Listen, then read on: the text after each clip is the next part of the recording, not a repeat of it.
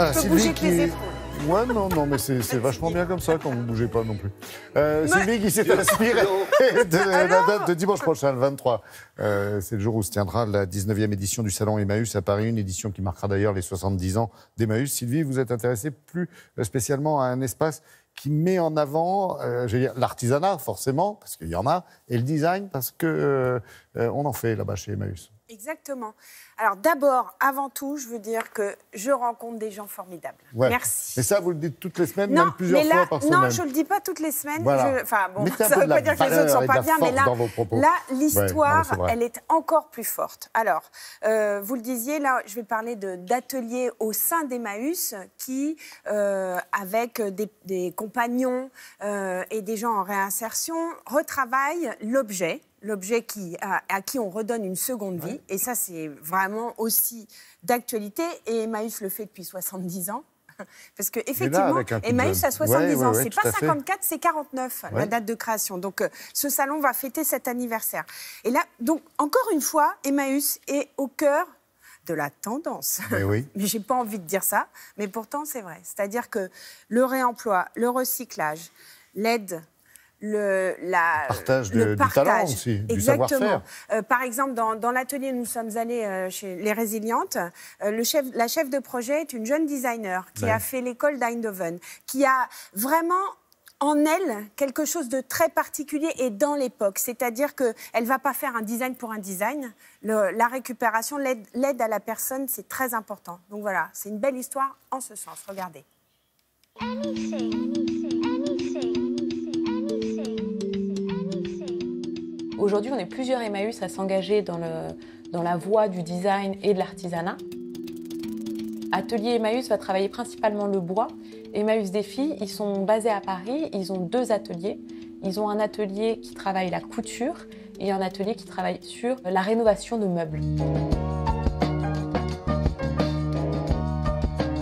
Moi, je suis designer de formation et je suis allée à la rencontre de l'association Emmaüs Alternative maintenant il y a presque trois ans.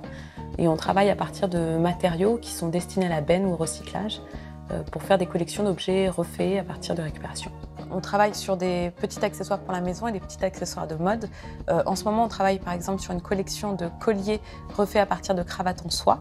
Celle-là, j'ai hâte de la faire, ça va être très joli. Ouais. J'adore créer. Depuis toute petite, je vous dis. J'aime pas jeter. J'aime pas jeter. Donc les, draps, les, les bouts de tissu, les chaussures, je récupère tout pour leur donner une deuxième vie.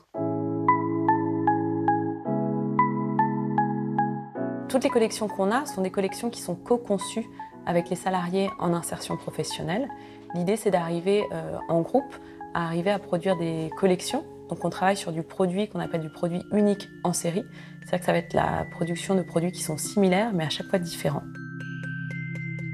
Donc, il y a une personne qui va commencer à faire un prototype, deux prototypes, trois prototypes.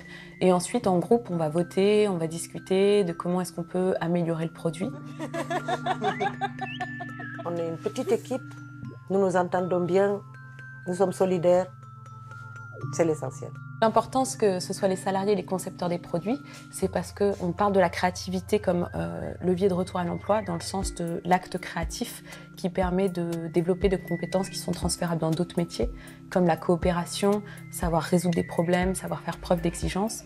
Mais aussi, on travaille sur un retour à l'estime de soi, euh, qui est super important quand on fait quelque chose de beau, mais qui est encore plus important quand on l'a conceptualisé, qu'on l'a prototypé et qu'on l'a fabriqué, et que ici, on a l'avantage d'être dans un espace où on a à la fois l'atelier et la boutique, et qu'on le voit aussi être vendu euh, par la suite. C'est euh, c'est un impact énorme en fait.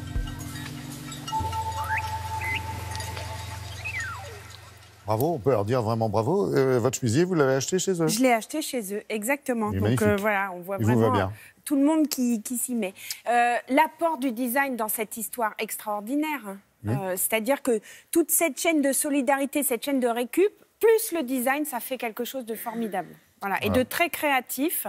Et ça arrange bien tout le monde, ceux qui achètent, ceux qui fabriquent, et finalement l'argent après qui sert à la solidarité.